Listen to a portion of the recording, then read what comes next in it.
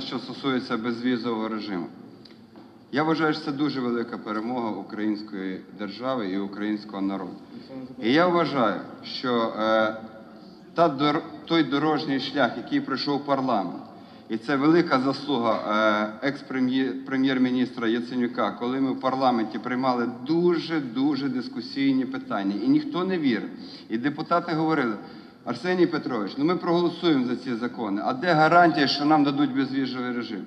І тоді прем'єр давав ці гарантії, президент підтримував ці законодавства. І ми прийняли Верховною Радою ці закони, і це дало нам можливість на сьогоднішній день всім громадянам України отримати можливість, можливість через два місяці на правильних умовах безвізових поїздок до Євросоюзу.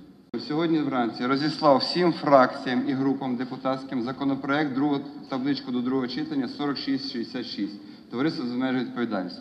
Я пройдусь по всім фракціям і прошу в четвер поставити його одним з першим, тому що його чекають е, весь бізнес і все юридична спільнота.